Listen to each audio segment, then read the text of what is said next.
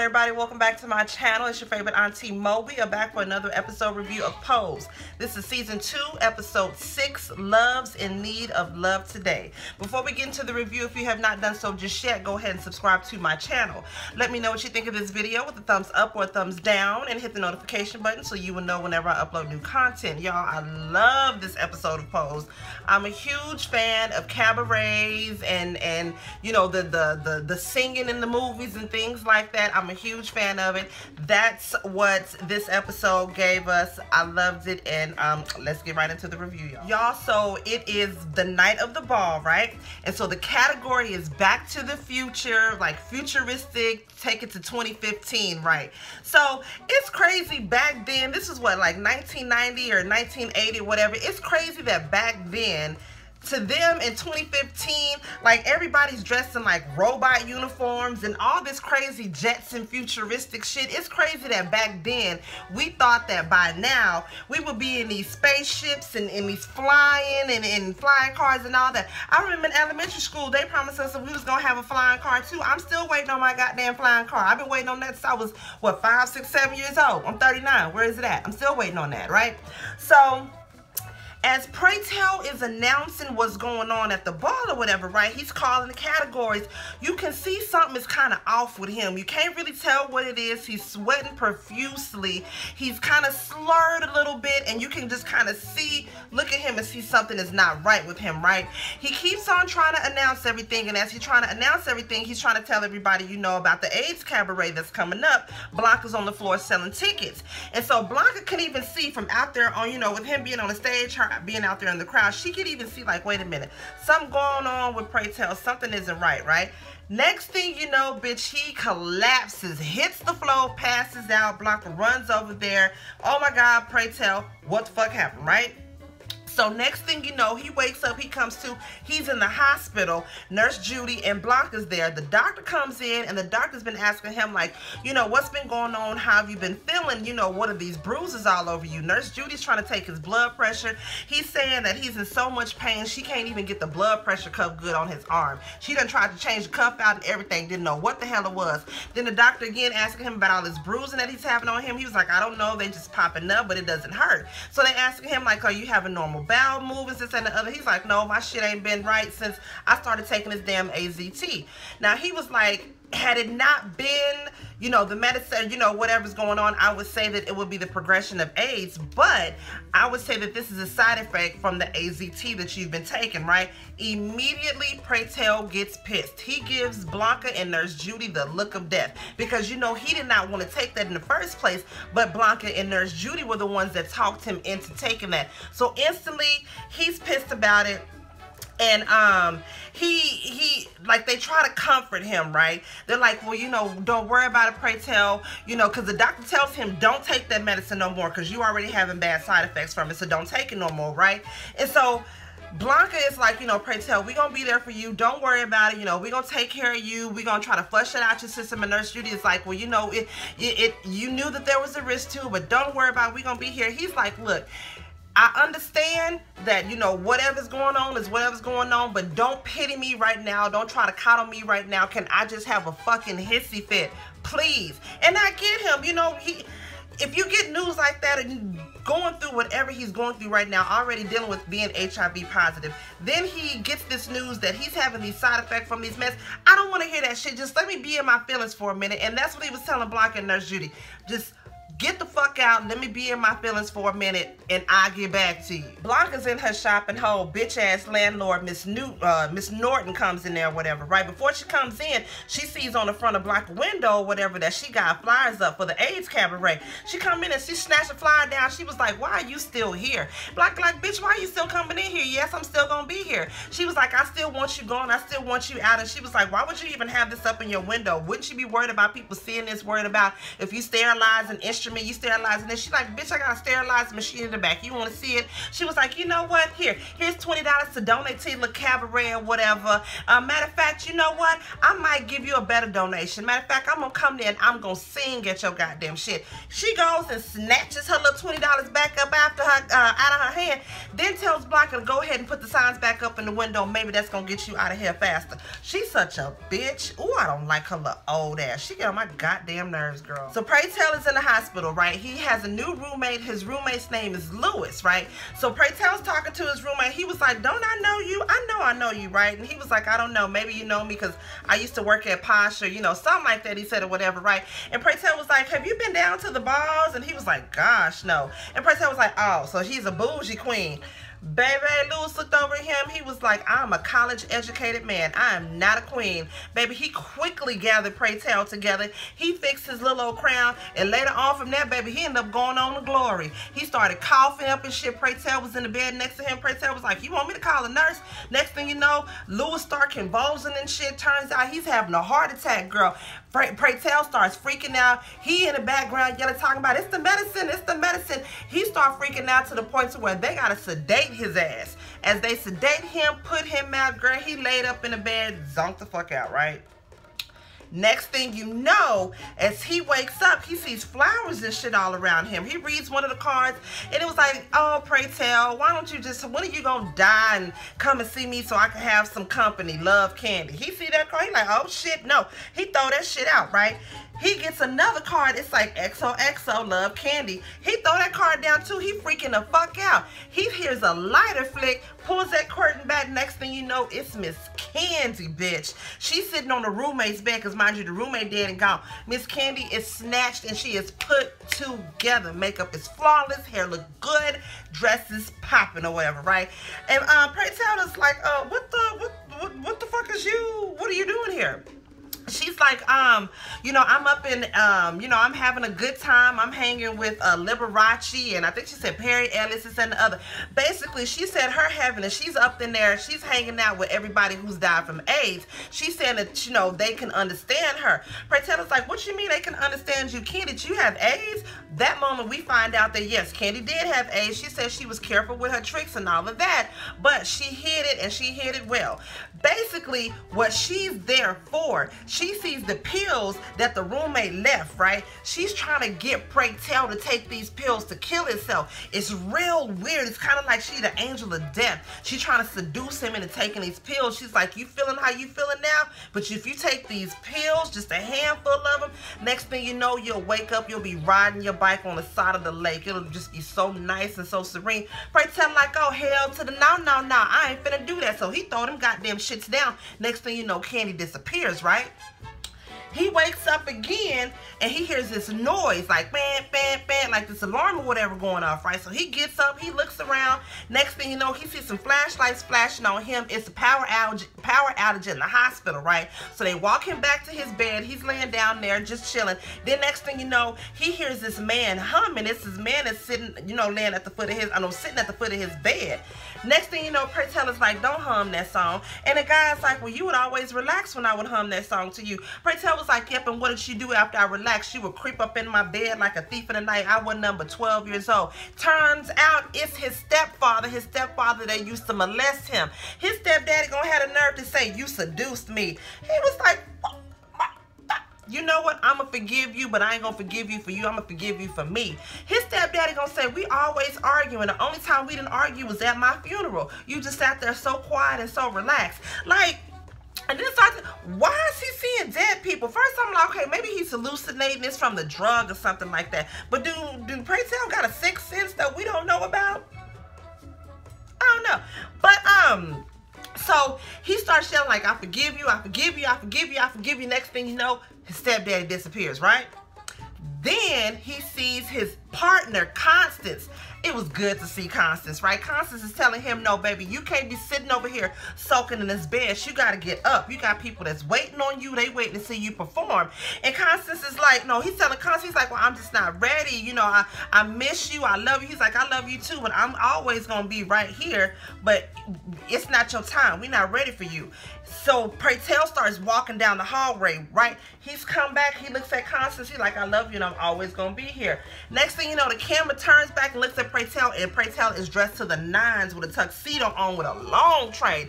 Now, right there is when I started to get a little bit of motherfucking anxiety because I was thinking like, oh God, oh man, does this mean Pray Tell is dead? because you know that's what happened with Miss Candy. She was dressed to the nines, and next thing you know, you know she did her little last dance or whatever.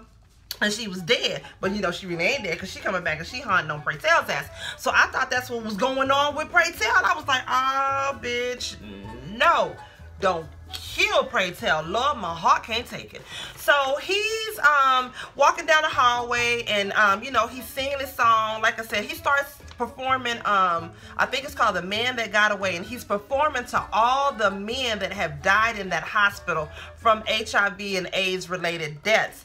It was so it was beautiful but it was so sad. That's the first time i started crying.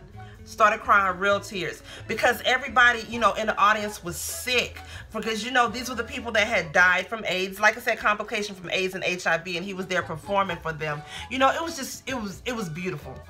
Next thing you know Nurse Judy is calling his name like pray pray he wakes up and he's like, oh my God, he's in a room in the hospital and nobody's there. It's just him. He's like, oh shit, like, am I losing my mind? Like, what's going on? And again, I think he was hallucinating from the tranquilizer that they gave him. I don't know if they gave his ass a horse tranquilizer or what they gave him, but I think he was hallucinating from that. That's That was just my opinion. That's what I thought. Y'all, this is another part that made me cry. Blanca feels guilty that Pray Tell is sick because, you know, again, her and Nurse Judy talked to him about, basically talked him into taking that medication.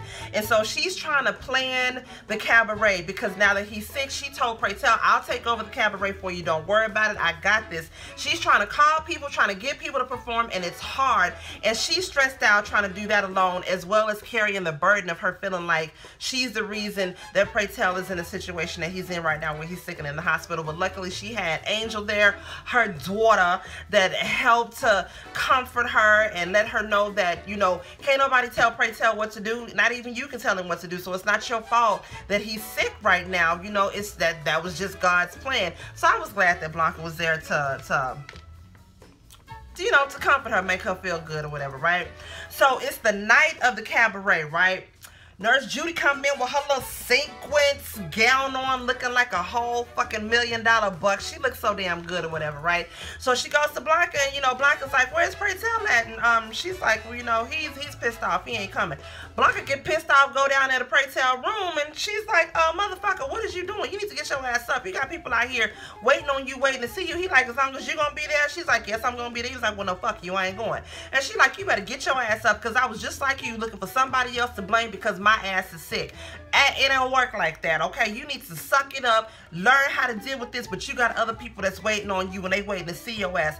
Tell like, fuck you. Mark say, fuck you. They kind of gave each other, you know, each other a little look or whatever. She like, get your ass up so you don't smell like no old maid. He like, bitch, excuse me. She said the show starts in 10 minutes.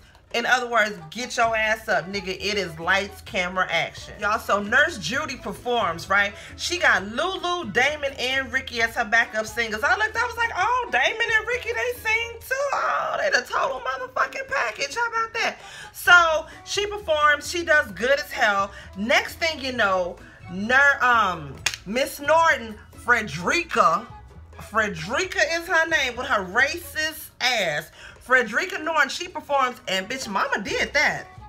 She did that. She performed her ass off. Gave Blanca a $100 donation, cash, and all that, right? After she performs, she says, I got to go outside make a phone call real quick, right? Blanca's like, oh, you know, everybody loving her and shit because she did that. She performed her ass off. She goes outside, calls her son, who's at the same damn time over there at Blanca's shop, gutting it, boarding it up. She says, hurry up, Cause I, I want that shit gone. I want her ass out of there. He's like, look, we gonna need about a whole nother hour. She like, don't worry about it. I got it. You just make sure you taking everything out of there and you boarding it up. So this whole time, this bitch being over here sneaky, like she trying to be cool with them, when really she was over here plotting the whole motherfucking time. Oh, sneaky ass bitch. Oh, she. Mm. So y'all, Elektra Abundance performs. She sounded very unique. We're just gonna say that, child. I I'm not even gonna say that about Elektra. Um, Blanca gets ready to perform. She comes up and she announces that they made over four thousand dollars in donations, which is yay. You know, great kudos to them. And she tells them that she wants them to know what the face of HIV looks like, and she announces to them that she's been living with HIV herself. Nobody knew that, but her kids and Pray Tell and Nurse Judy. So she came out to everybody, let everybody know. Then she starts to perform. Pray Tell finally emerges and comes out and she makes him get his ass up and sing. They sing Love's in Need of Love Today. And that's a Stevie Wonder song. Um, Y'all, they sung that song beautifully. I love Billy Porter's voice. I've, I've now listen, I've been a fan of Billy Porter's. I, he was on, I actually fell in love with him when he was on um, Law and Order SVU one episode. First time I seen him, it was my first time ever seeing him and I've been a fan of his ever since. His voice is beautiful. Now Blanca, Blanca has a beautiful voice, but when I first seen her getting ready to sing, Blanca is very fish. She's very beautiful. So I'm thinking I'm finna hear me maybe a soprano, a strong alto. Baby, when she came with that deep tenor, I was not expecting that at all. It was damn near a bass. She kind of had the Toni Braxton thing going on.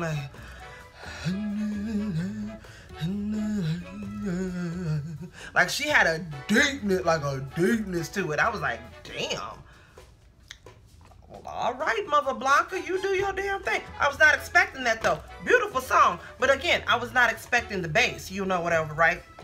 So after the show or uh, the cabaret is over, Miss Norton comes up to Blanca and she's like, so you put this whole cabaret on by yourself? And she's like, yep, I sure did, all by myself. She's like, well, I'd like to sit down some more and talk with you about it. Blanca like, come by my shop tomorrow. I'll give you a free mani and pedi.